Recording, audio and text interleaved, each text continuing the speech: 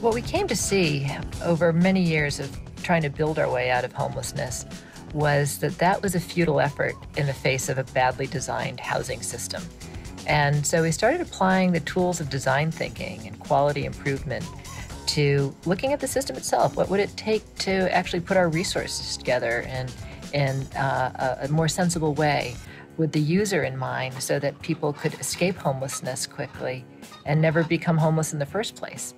And so design for us has become uh, the way into lasting solutions to homelessness and to the problems that expose people to homelessness.